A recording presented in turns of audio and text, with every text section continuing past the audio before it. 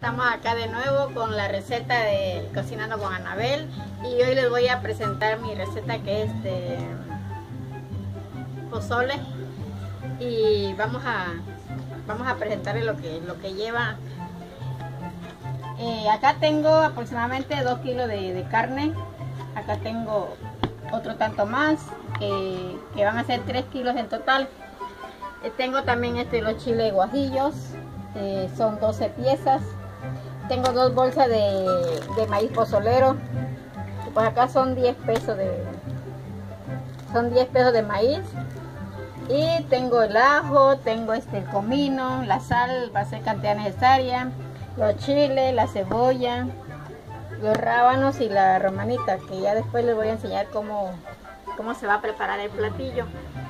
Y pues este, espero que les guste esta receta, al igual que las otras, y vamos a a seguir con el siguiente paso.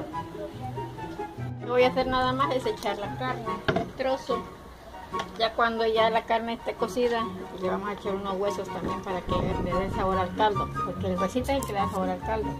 Ya cuando ya esto esté cocido, entonces lo único que vamos a hacer es desmenuzar la carne.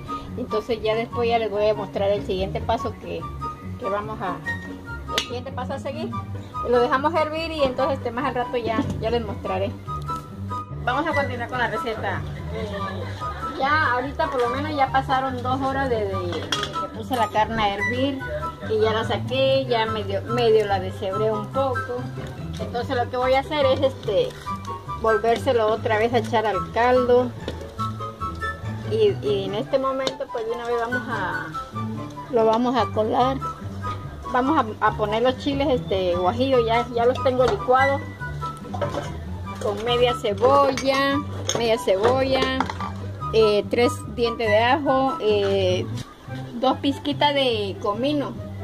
Nada más con lo que pueden agarrar así con, la yema de los dedos son dos pizquitas de, comino nada más que se licúa de una vez con, con el chile guajillo. Entonces ahorita se lo voy a poner para que ahorita empiece a hervir. Ya esto esto ya le falta poco ya ya es cuestión nada más de que hierva un poco esto. Ya cuando ya empiece a hervir le voy a echar este lo el maíz pozolero. Es fácil de hacerlo nada más es cuestión de, de tiempo y paciencia porque pues tiene muchos pasos pasos prácticos que hay que seguir y entonces ya ahorita, este, dentro de un momentito que esté hirviendo esto, pues entonces ya le voy a dejar de caer el, el maíz y ya se lo voy a enseñar. Lo único, ya ha pasado 10 minutos que le metí la carne, ya pues ya nada más lo único que me resta es este, echarle el, el, el maíz pozolero. Lo dejamos hervir por 10 minutitos más y ya, esto ya está listo. Miren nada más que, qué rico, qué sabor está delicioso. Y ya entonces ya este después de esto ya nada más lo único que me va este, a quedar es este mostrarles el eh, cómo se sirve qué es lo que lleva y ya. En un momentito ya se los voy a presentar. Entonces este ya amiguitas estamos acá con el resultado final. Eh, mi comida quedó espectacular. Espero lo hagan como yo se los estoy diciendo en el video para que les salga bien rico y si ustedes supieran el aroma que tiene. Entonces eso nada más se acompaña con este un poquito de, de romanita.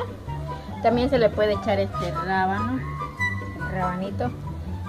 Eso es lo que le da el sabor a la comida. Ese es el tradicional pozole. También se le echa un poquito de cebolla. Esta comida que estoy preparando aquí es para mi esposo. y se le echa este chile, este chile habanero. Eso pues ya es al gusto, ¿no? Porque pues hay personas que no les gusta el chile, pero pues esto es lo que le da el sabor a la comida.